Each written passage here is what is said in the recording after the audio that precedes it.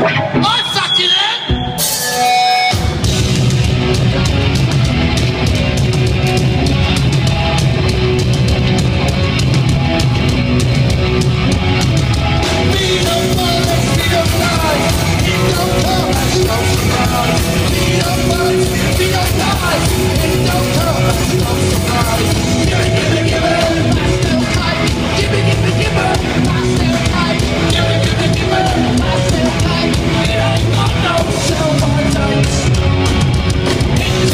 Welcome out of the rush. Now you talk to, now you